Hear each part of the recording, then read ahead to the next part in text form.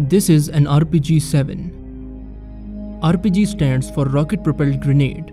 The RPG-7 is an old type of RPG. It is reusable, unguided, shoulder-launched anti-tank RPG which was designed by the Soviet Union.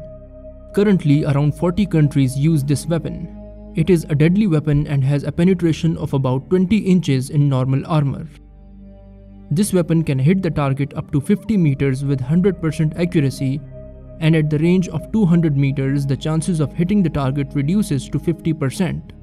So the question is, are these RPGs able to destroy a modern tank or not? Nowadays, tanks are getting advanced and their protection systems are getting better. The modern tanks have reactive armor.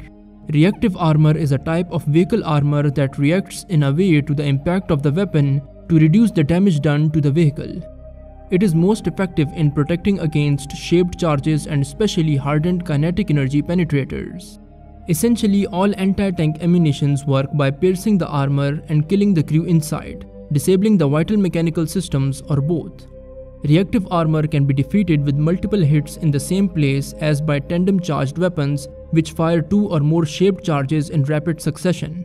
Without tandem charges, hitting the same spot twice is much more difficult.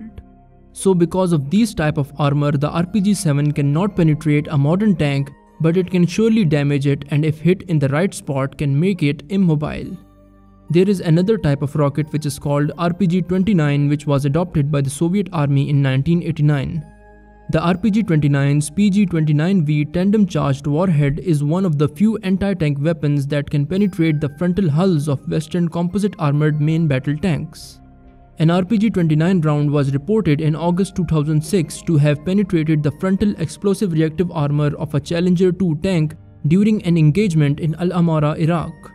On August 25, 2007, a PG-29V hit a passing M1 Abrams in the rear hull, wounding three crew members. On September 5, 2007, a PG-29V hit the side turret of an M1 Abrams in Baghdad, killing two of the crew members and wounding one and the tank was seriously damaged. This shows that the PG-29V can seriously damage a modern tank but on the other hand the old version RPG-7 cannot cause much damage to modern tanks. That's all for today's video, like and subscribe to the channel and see you in the next one.